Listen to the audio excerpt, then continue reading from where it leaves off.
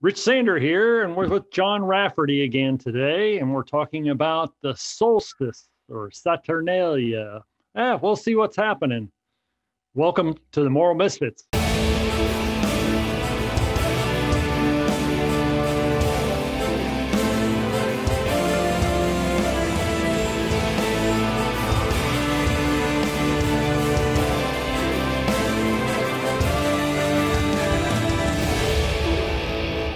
Hello, John, and happy solstice to you. It's amazing that we're actually recording on the solstice, and it's a big deal, which I know we're going to talk about. Uh, this this confluence or con conjugation, whatever they, whatever. Um, but it's good to be here anyway. So yeah, we're going to uh, kind of cover a little bit uh, for those people out there that may not be familiar with the solstice, a little bit about really what it is. I mean, there is a real thing that goes on, and that's why it's called the solstice. Um, we're going to talk about the history of the solstice and Saturnalia and uh, celebrations during this time of the year. And then we're going to talk a little bit about, um, as James Randi, who passed away recently, would say, we're going to talk a little bit about the woo woo, maybe astrology. Uh, um, you know, I'm a fan of astronomy, not astrology, but we'll we'll get into that a little bit, and then we'll talk about the future and why atheists why why can't we party and have fun uh, this time of the year and what we can do. So those are the areas I want to kind of cover today, and hopefully those people that are watching at home find this interesting about the solstice. And, and okay, I think one of the things that we ought to uh, keep in mind very much that the solstice has nothing to do with us. We make a fuss about the solstice, but the solstice is just a matter of when the earth turns and how, where it is in its journey, annual journey around the sun. And that was going on billions, even billions of years before there were people. So, you're oh. when it first started, right? yeah. Yeah.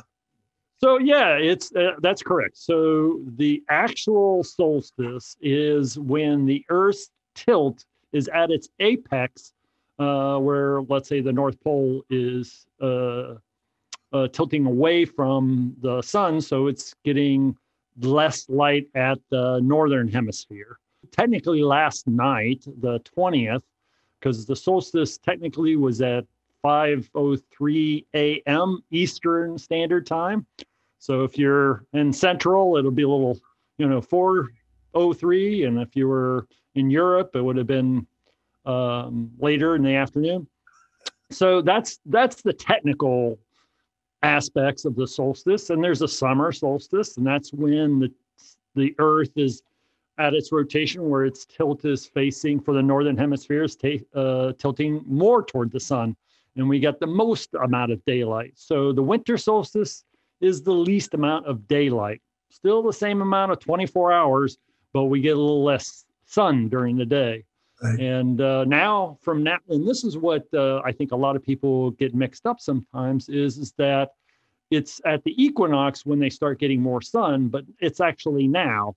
Now that the solstices happen, each day you're going to get more and more sun until the summer solstice. And then the summer solstice, the daylight in the northern hemisphere starts to go down. Uh, and or not down, but it has less of it during the day. So that's technically what the solstice is. Uh, I read somewhere a long time ago uh, that the difference day by day is about two from now until the summer solstice is about two minutes earlier, the sun rising two minutes earlier every day and setting two minutes later. In other words, every day we get four minutes more sunshine, assuming it isn't raining, uh, or, or some other catastrophe. Um, so that we have four minutes more per day. And, you know, it's interesting. You bring, you bring up this summer solstice as well.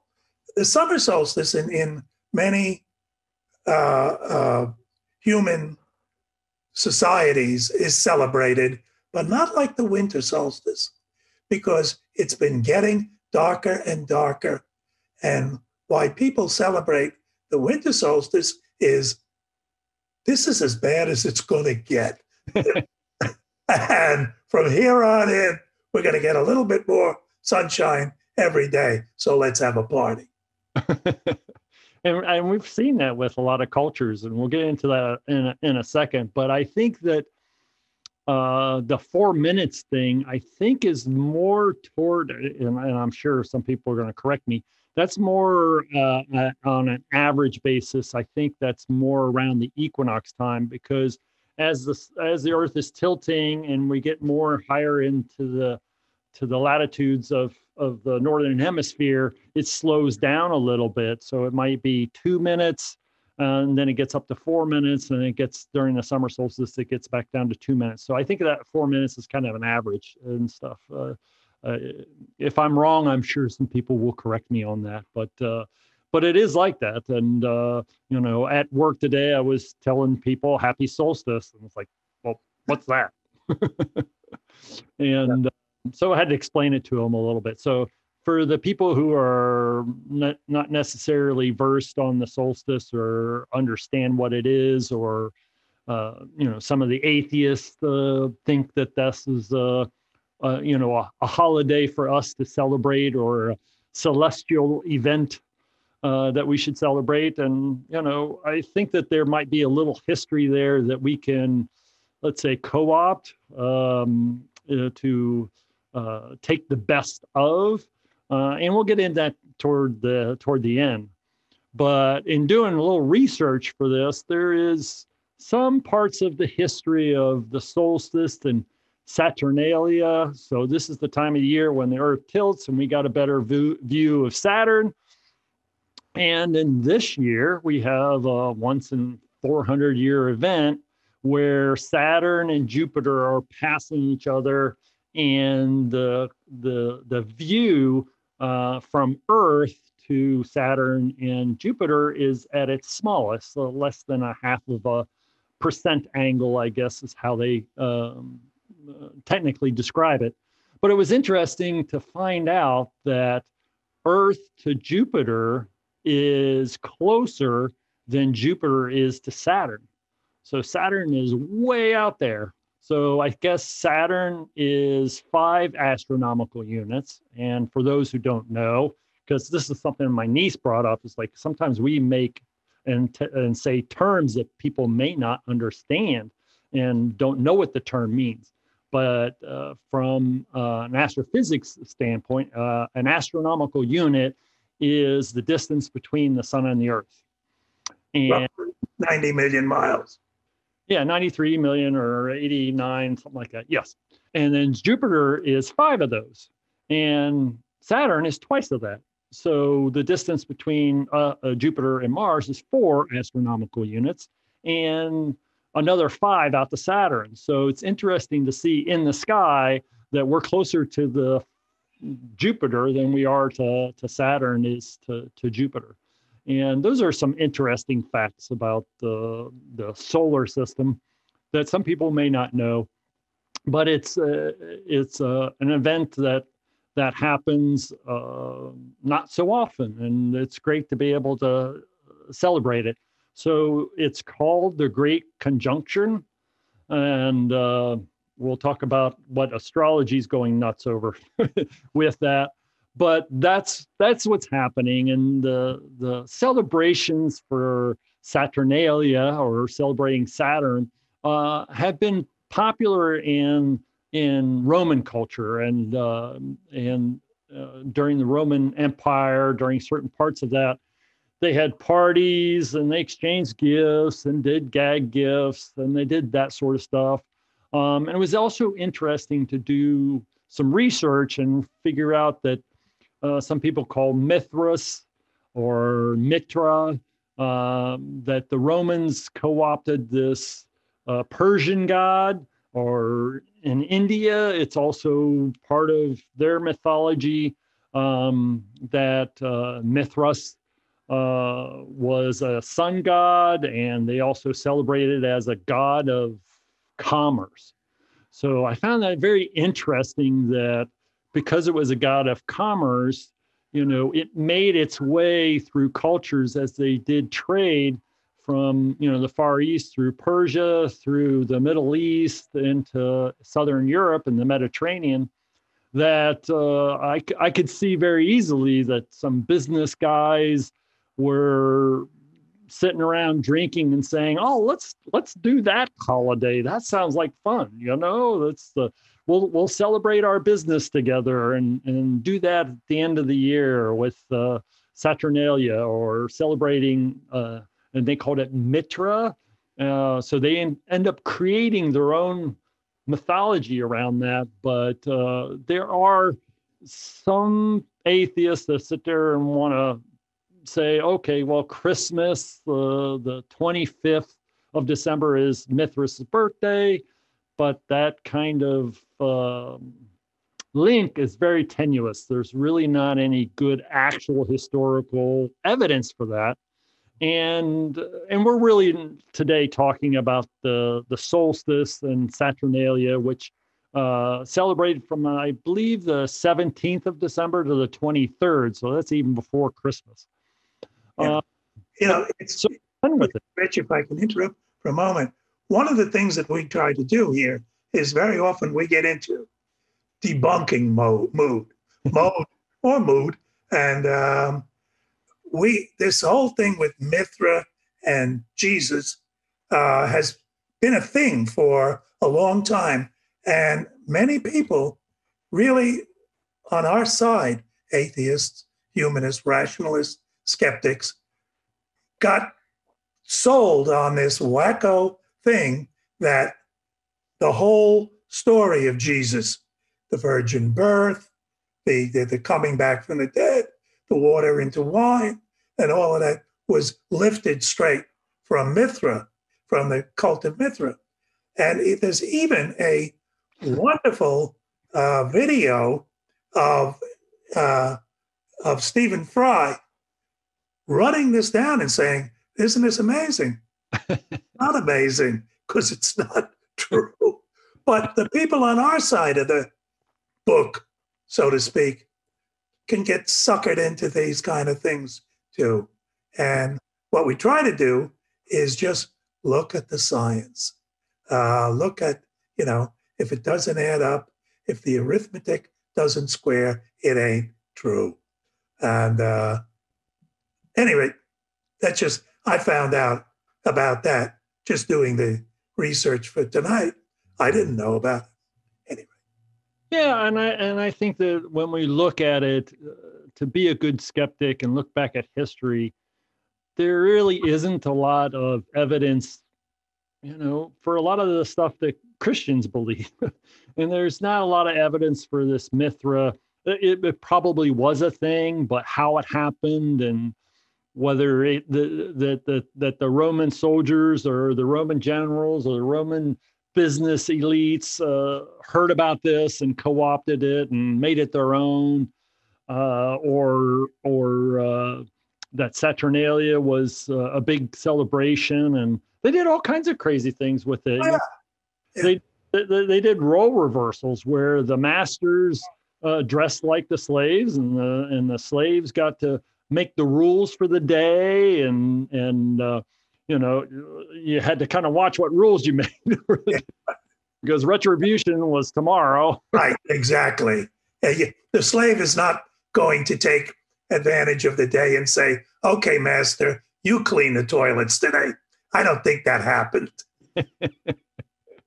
Uh, you know and might be what they made them do, but uh, make them look silly. But I think they were all in for something like that. But uh, cleaning the toilets wasn't going to happen. But yeah. uh, who knows exactly what had happened during those celebrations? There's really not a lot of historical information of exactly what happened. But uh, in my mind, I looked at it and said, oh, well, you know, if we're having a party, I'm all for that you know if it's a celestial uh, event you know that's a real thing. So we can narrow down on that. Is there any any emotional significance to it? No but it's a nice thing to do during the winter when you know there is a lot of night, and uh, and uh, and we're getting ready to end the year, and uh, we're ready to move on, uh, and and get more sun, and and hope for our new year, and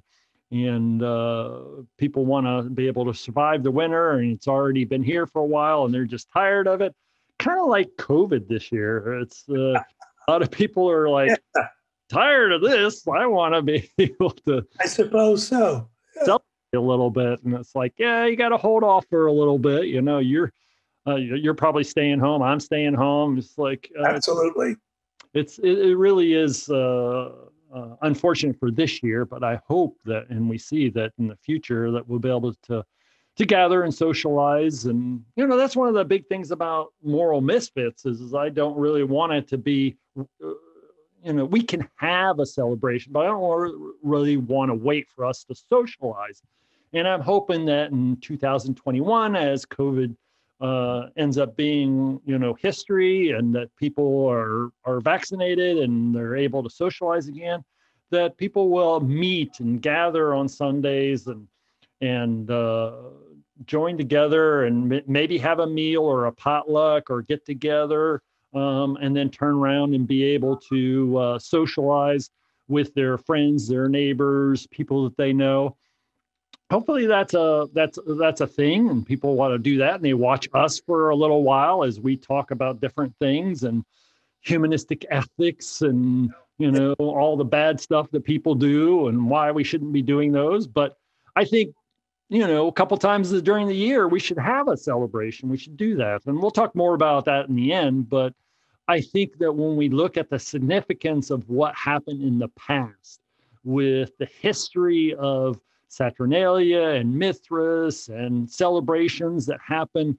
winter celebrations that happen in, you know, in Asia and Northern Europe. The Germans had their own thing with trees and and gift giving and uh, you know there there are a lot of cultures throughout the world that celebrated their own way of getting through the winter and i think that's a very humanistic thing and that we should all be a nice human about it. And you like my picture, you know, I. Oh yeah. Well, as I told you when I first saw it, it's a hard to argue with that. even even the worst person you're going to meet during the day is not going to argue.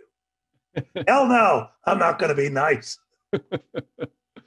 Maybe tomorrow, but not today. I, I, right, what? But but it's interesting to to to me to see that there is this possibility to understand the history of what happened with these winter celebrations and that there is an actual event that happens and you know we mark that passage of time that uh, the apex of the earth is at its highest or lowest tilt to the sun during the year and that uh, you know it's it's it's it's arbitrary in a certain aspects. You know, the equinoxes is even night and even daylight.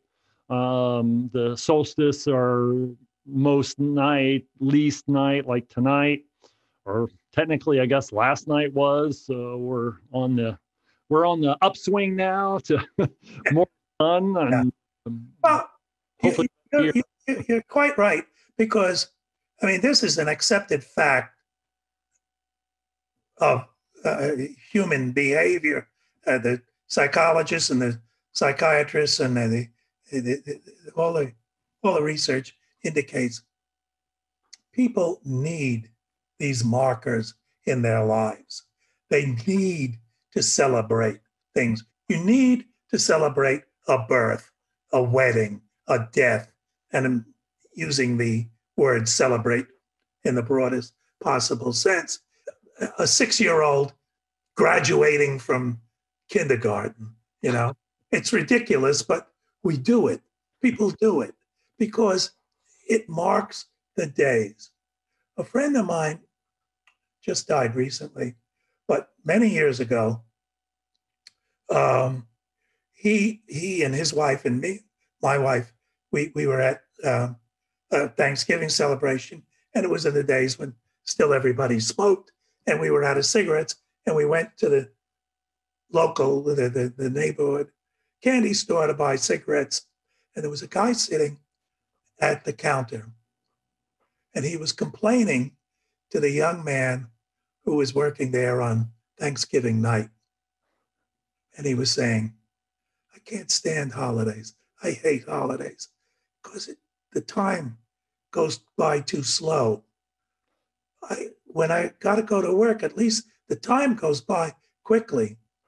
And when we went out of, Mel and I looked at each other and said, that is the creepiest, saddest guy I've ever seen in my life. Wow.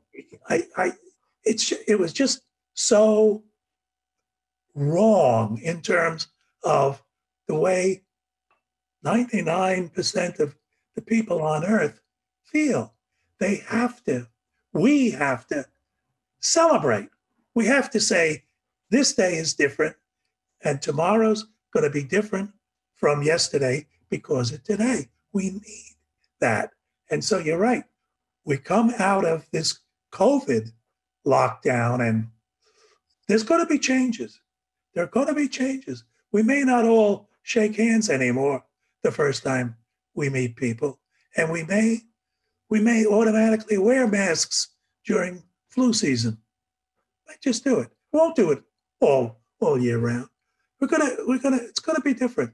It's gonna be very different, and we're gonna be a little bit feel a little bit different about how we are in crowds. you know, but we need we need it nevertheless. We need each other and we need to celebrate together. We need to party.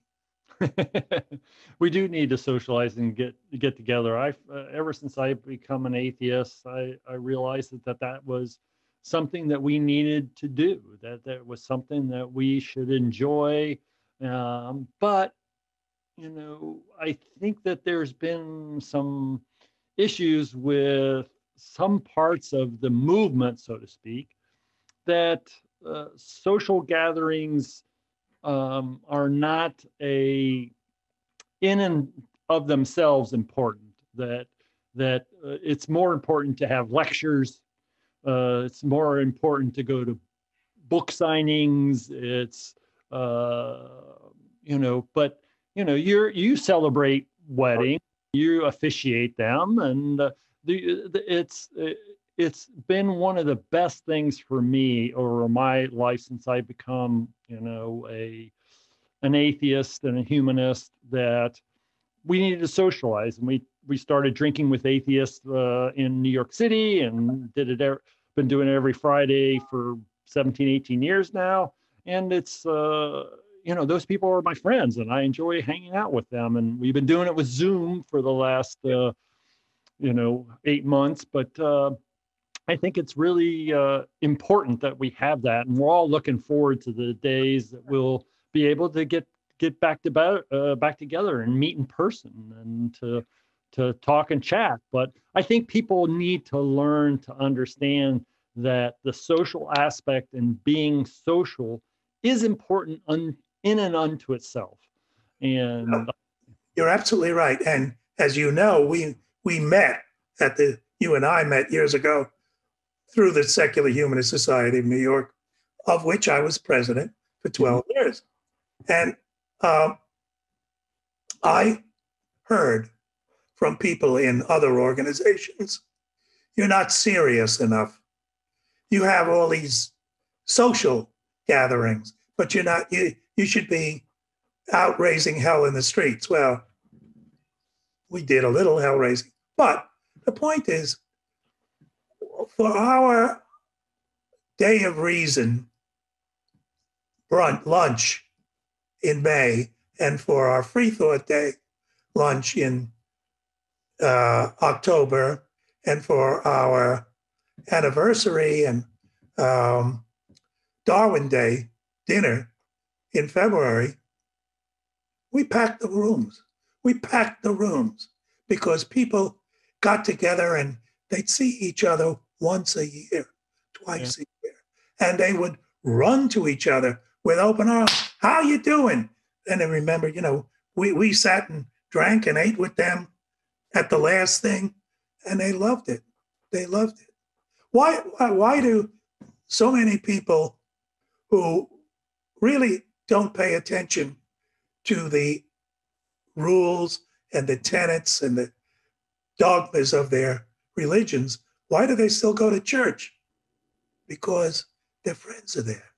They, because it's meeting other people. You're right. We need it and we enjoy it.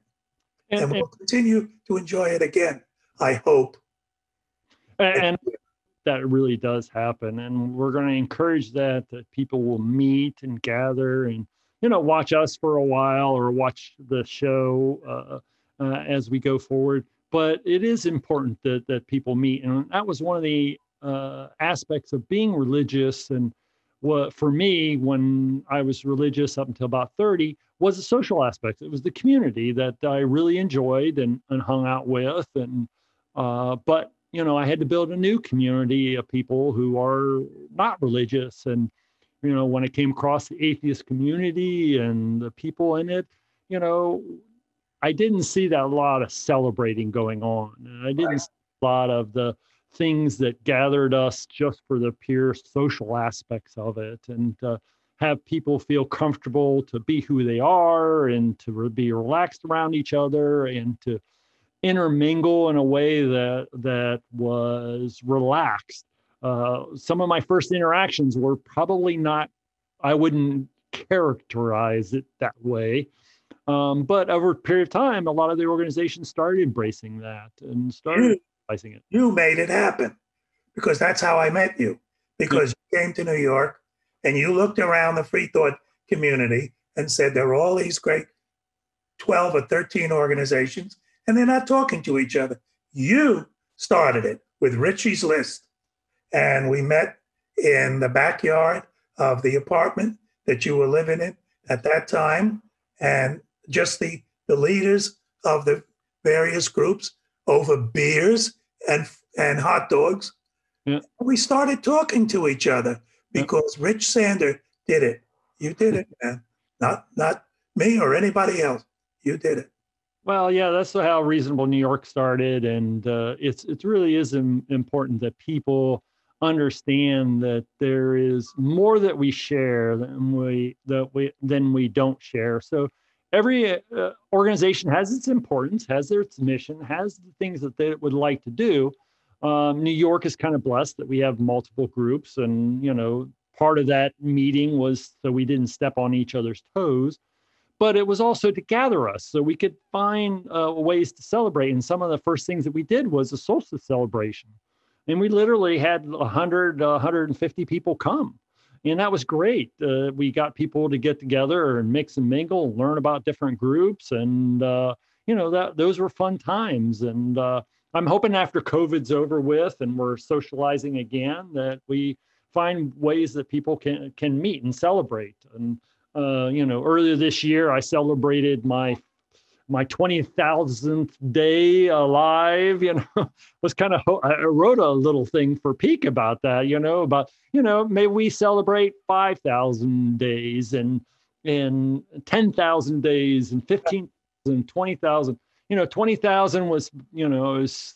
57, you know, 56 something or other, you know, uh, 5,000 is like um, 13, I guess. And, and and 10,000 is like 26. So I could see, you know, okay, 13, uh, 5,000, that's kind of like a coming of age, entering puberty, that sort of thing. And then, you know, at 10,000, it's like I'm my education's over or I'm got a job, I may have a family, you know, celebrating that sort of thing. I, you know, I just hope that would be a thing and people would start to do that. And that could be a, a, a new ritual I mean, it doesn't have any particular meaning to it. It's just marking another day, but it's something fun and it's something we could add to our list of things that we are doing and give it a shot. Of it, you know, the solstice, the summer solstice, the winter solstice, solstice is really a, a, chance for us to gather. And you know, these winter celebrations, you know, started out with pagan religions and and uh, there were many gods and you know, all, pretty much uh, most mythologies had some kind of winter celebration going on, and and, and as we look forward in the future, we we hope to be able to do that. So I want to get back to that a little bit later, but one of the things I want to cover is what uh, James Randi uh, called woo woo, and uh, it's uh, it's taking something like the great conjuncture going on with Saturn and Jupiter, and ascribing it to something that affects our personality or our interactions or business, whatever, and that's that's kind of woo woo. it is. It is real woo woo. Absolutely. Yeah, the roommate once that uh, I, I totally did got from the left field from this from him, and I was having a problem with uh, a um, a cable modem at the time, and it was overheating, and I put it in the freezer. And when he came home, I said, "Oh, the cable modem was overheating, and it's in the freezer for." you know 15 minutes or something and when i take it out i'll plug it in but you know when we plug it in, don't stack it on top of the of the USB uh, port or whatever was uh, causing it to to heat up. And he says, no, no, that's that. It's uh, it's Mercury's in retrograde right now, and that's what's causing the problem. I looked at him so dumbfounded. I, I laughed. I just laughed out. you know, first of all, there Mercury has no magnetic field to it whatsoever and it's right near the sun. The sun's got a tremendous magnetic effect. So if you want to describe anything to it heating up, it's probably the sun. Yeah. Three in retrograde. Yeah, right. So you know, in in, in doing a little of this study for the show today, um, you know, I ran across, and I I don't really want to dwell on it too much, but there was a lot of stuff being said about this great conjuncture between Saturn and Jupiter. And it's like, okay, Jupiter is far out there, it's way out there. It does have a gravitational effect, but nowhere near what the sun does or what the moon does for the Earth. Um, but it does have an effect uh, on the solar system to a large degree. And so does Saturn, but Saturn is way, way, way out there. so yeah. it has no effect on Earth. And people trying to say, well, in this great conjuncture, there's going to be new business and right. a great awakening for mankind and blah, blah, blah. And I'm just like, wow, that's a lot of woo woo. yeah, well, you know, the, the, the, whole thing about the gravitational effects, that's only come around in the last few decades because we had our we had our big moment of astrology back in the 70s my father would never let me forget that I once called him somewhere around two o'clock in the morning to ask him what hour of the night I was born because several of us were doing charts and, you know, stoned out of our heads. And we're doing, and, you know, oh, yeah, let me call my father, find out. He said, You were born about four, four in the morning. Okay.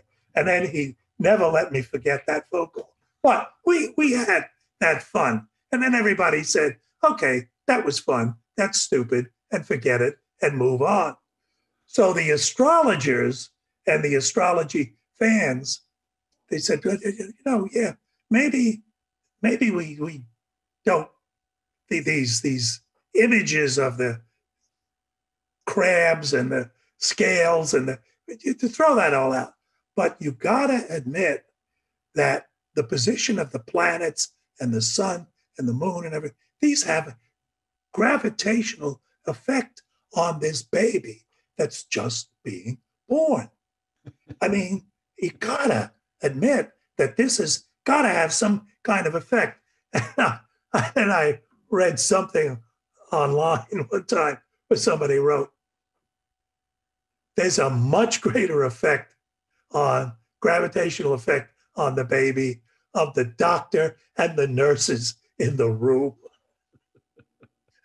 the, the nurse pulling the baby out of the mother is making a much greater effect than the sun. Okay. that's absolutely true. and that's why we should gather. We can get gravitational energy together. Attract to each other, I guess. Yeah. But no, it was. Uh, it's it's in this day and age when we are really trying to understand the natural world and understand human behavior better. Um, it's kind of disheartening to see people really going off onto these uh, tangents and really I think you're right when we were talking at the beginning as like as atheists we have to be more skeptical of some of the stuff that we it sounds good to us and we like oh yeah yeah yeah mithras yeah it was all copied uh, you know over to christianity and right. that's not true and yeah i mean it sounds great but uh, and there's certainly no evidence for that was yeah. there likely some type of co-opting of presents exchanged in saturnalia to christianity probably i mean yeah, yeah. Uh, and Mithra, Mithra, was taken up by uh, the Roman soldiers in the legions uh, because he killed uh, some. His, his, big claim to fame was he killed um, a bull that represented the whole universe. I can't remember the name of it. So he had this slayer of beasts thing, which would appeal to soldiers. So they, they kind of liked Mithra. And then along came Christianity. And uh, so the same guys who liked Mithra last year now we're getting this story about this guy who came back from the dead, uh, this other guy. And uh, maybe in a few cases they melded together, but certainly not any really big time kind of thing. Yeah. well, besides, all, all, so many of those things that supposedly, you know, like uh, the, the the, the, the three kings, and the shepherds, and the no room at the inn, and the slaughter, the slaughter of the innocents, all those came decades and decades after the, the Gospels and after Paul. Some of that didn't come around till the third century, and Mithra had been long since forgotten. Yeah. Yeah, and I think that there are uh, going back to what we were talking about earlier, there's a, there is this general need to meet and to gather and to socialize and to celebrate. Uh, not everybody has had that opportunity in history, obviously, because they're poor and they don't have extra to gift give. And I think we need to be cognizant of that. That you know we're talking about having fun uh, uh, and celebration. That you know, we should keep in mind that some people may not either have the time to do it or they may not have the wherewithal to join in and you know go to a restaurant or to bake something for for a potluck and but they should be welcomed and they should be uh, honored and i think that whoever's organizing in their community or whatever should make it clear that if you don't have the means or you don't have the uh, uh, ability to to do that, that uh, you're still welcome. And uh, we don't certainly need to take the the village idiot and make him king for a day and then slaughter him the next day.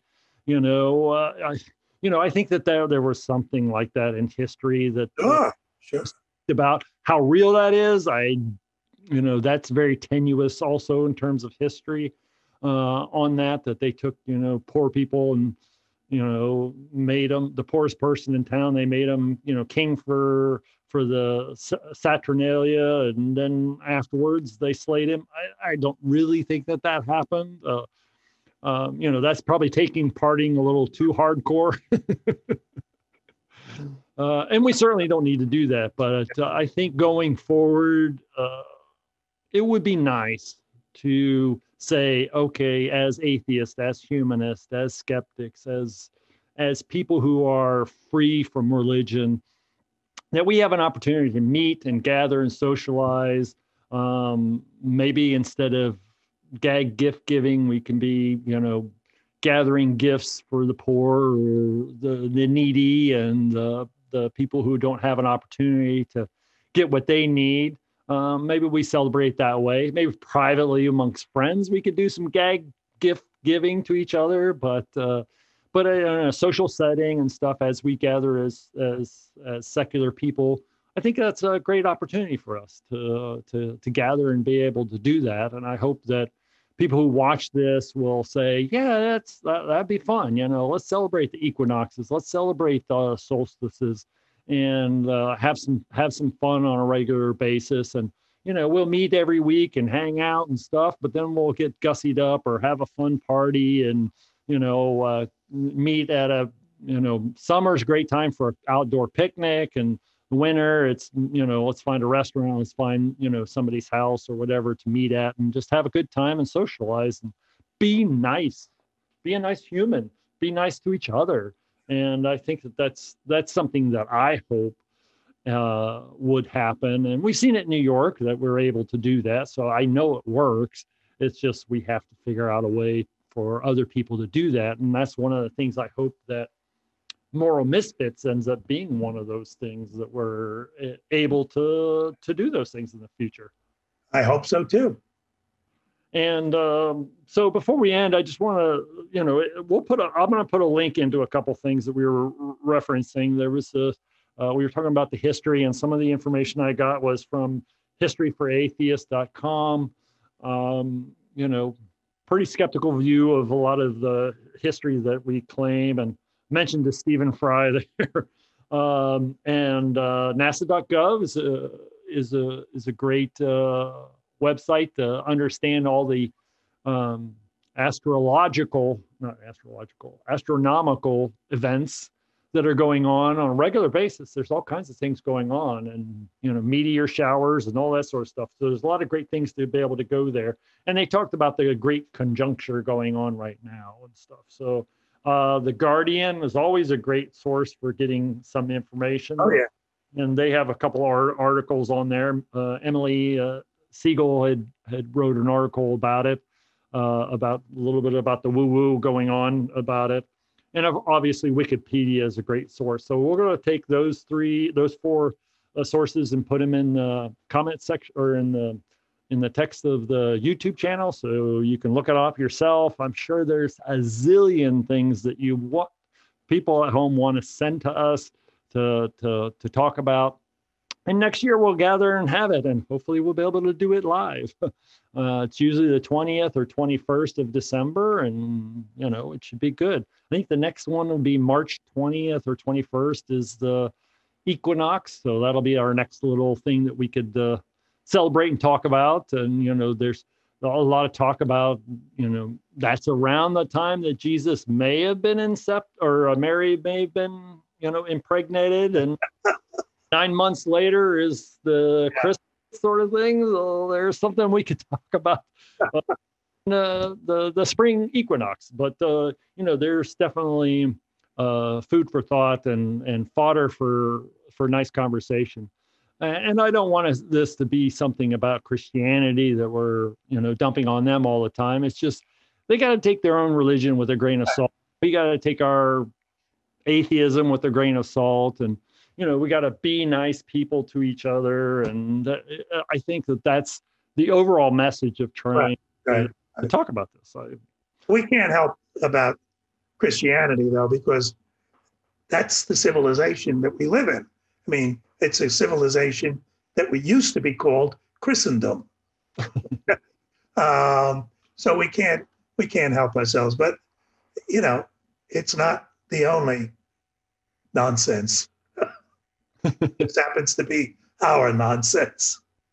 Yeah, I remember watching a, a, a, an episode of MASH one time, and they did a whole uh, unceremony and stuff, and they unmarried somebody, you know, and they it was a fun episode. If everybody got to watch MASH and uh, understood that show, show that a particular episode where they do an unceremony sort of thing, it was really fun, and I that's that stuck in my brain about you yeah. know, okay, I imagine they must have religion myself and free myself from that. That that was that was fun. That I mean, for me, it just took a long time, and my my coming of my atheism and humanism was a very slow path over about 10 years.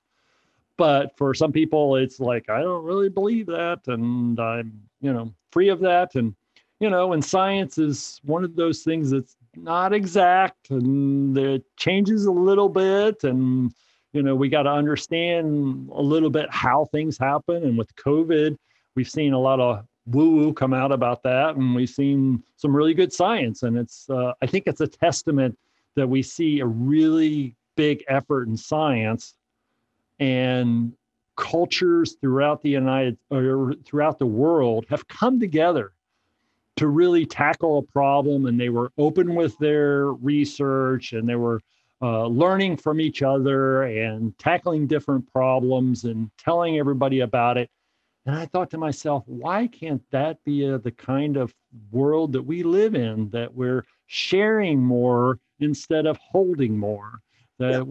are helping each other and that there is a a, a, much more powerful, happier, better future if we share more. And to me, we don't start sharing more until we're meeting more and hanging out more and being nice people to each other and to uh, celebrate, you know, relatively innocuous things and uh, that that all of us can, you know, somebody can be a Christian and celebrate the solstice. There's nothing that would stop them from it. There's no heretical problem with that.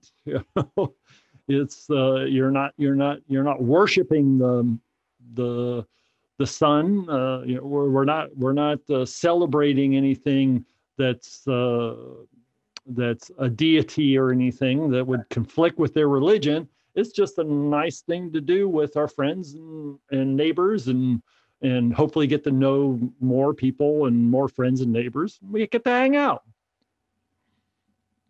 Sounds good to me. So, John, thank you for hanging out with me and talking. Anytime. Yeah, we've had fun, and uh, and uh, I want to wish you a happy Saturnalia and happy solstice. And I'll do the same for you. And you know what? I'll even say Merry Christmas, Happy Hanukkah, Cool Kwanzaa. What else you got? and a Happy New Year. And Happy New Year. Yeah, we're all looking forward to it. 20. Yeah. That's yeah. sure. You know, I hope it is a it, is an up year, and I hope a lot of things are going in the right right right direction and stuff. I think uh, politically we're probably going in the right direction. I think economically there's uh, opportunity after we get done with COVID. I think hopefully people's spirits will be better, and they also realize that we actually do need each other, and let's see if we can find out ways to make that happen. So, here's to 2021. And you've been watching Moral Misfits. I'm Rich Sander, and that's John Rafferty. Thank you for watching.